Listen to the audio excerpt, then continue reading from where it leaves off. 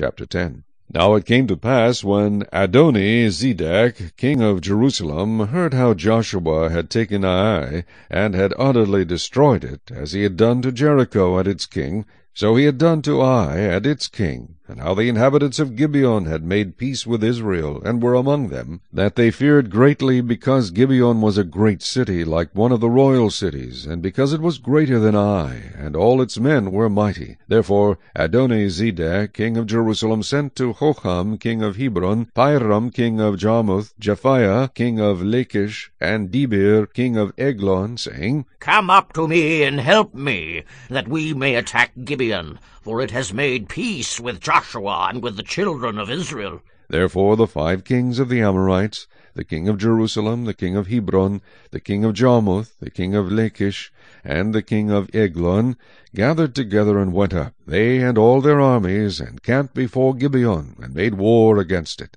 And the men of Gibeon sent to Joshua at the camp at Gilgal, saying, Do not forsake your servants. Come up to us quickly. Save us and help us. For all the kings of the Amorites who dwell in the mountains have gathered together against us.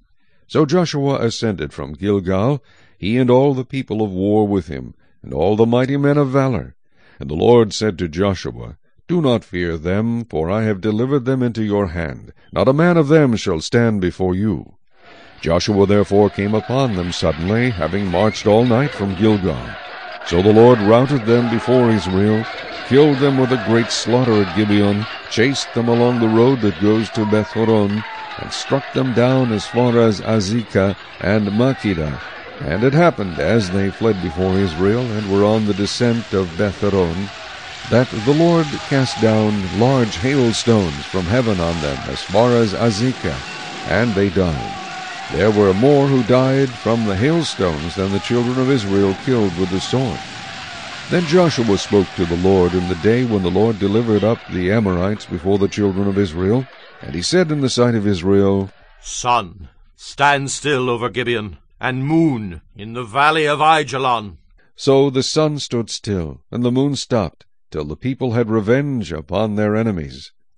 Is this not written in the book of Jasher? So the sun stood still in the midst of heaven, and did not hasten to go down for about a whole day. And there has been no day like that, before it or after it, that the Lord heeded the voice of a man, for the Lord fought for Israel.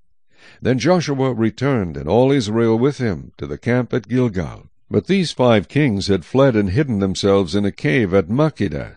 And it was told Joshua, saying, The five kings have been found hidden in the cave at Makkedah. So Joshua said, Roll large stones against the mouth of the cave, and set men by it to guard them. And do not stay there yourselves, but pursue your enemies, and attack their rear guard. Do not allow them to enter their cities, for the Lord your God has delivered them into your hand. Then it happened, while Joshua and the children of Israel made an end of slaying them with a very great slaughter, till they had finished, that those who escaped entered fortified cities. And all the people returned to the camp, to Joshua at Makkedah, in peace. No one moved his tongue against any of the children of Israel. Then Joshua said, Open the mouth of the cave, and bring out those five kings to me from the cave. And they did so, and brought out those five kings to him from the cave, the king of Jerusalem, the king of Hebron, the king of Jarmuth, the king of Lachish, and the king of Eglon. So it was, when they brought out those kings to Joshua, that Joshua called for all the men of Israel, and said to the captains of the men of war who went with him, Come near, put your feet on the necks of these kings. And they drew near and put their feet on their necks. Then Joshua said to them, Do not be afraid, nor be dismayed. Be strong and of good courage, for thus the Lord will do to all your enemies against whom you fight. And afterward Joshua struck them, and killed them, and hanged them on five trees, and they were hanging on the trees until evening. So it was at the time of the going down of the sun that Joshua commanded, and they took them down from the trees, cast them into the cave where they had been hidden, and laid large stones against the cave's mouth, which remain until this very day. On that day Joshua took Makkedah, and struck it and its king with the edge of the sword. He utterly destroyed them, all the people who were in it. He let none remain. He also did to the king of Makkedah as he had done to the king of Jericho. Then Joshua passed from Makkedah, and all Israel with him to Libnah, and they fought against Libnah. And the Lord also delivered it and its king into the hand of Israel. He struck it and all the people who were in it with the edge of the sword. He let none remain in it, but did to its king as he had done to the king of Jericho.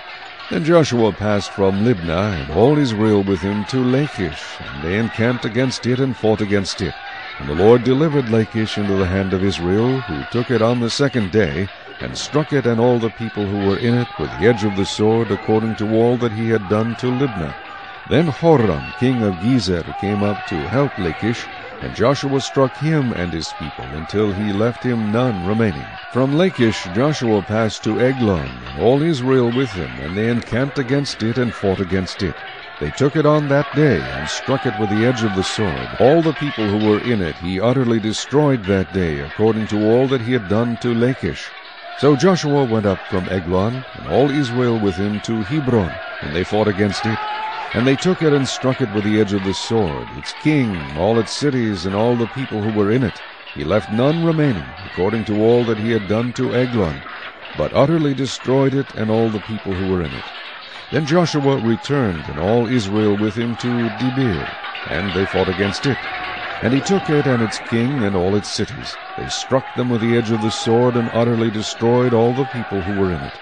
He left none remaining, as he had done to Hebron. So he did to Debir and its king, as he had done also to Libnah and its king. So Joshua conquered all the land, the mountain country and the south and the lowland and the wilderness slopes, and all their kings. He left none remaining, but utterly destroyed all that breathed, as the Lord God of Israel had commanded. And Joshua conquered them from Kadesh Barnea as far as Gaza, and all the country of Goshen, even as far as Gibeon. All these kings and their land Joshua took at one time, because the Lord God of Israel fought for Israel. Then Joshua returned, and all Israel with him, to the camp at Gilgal.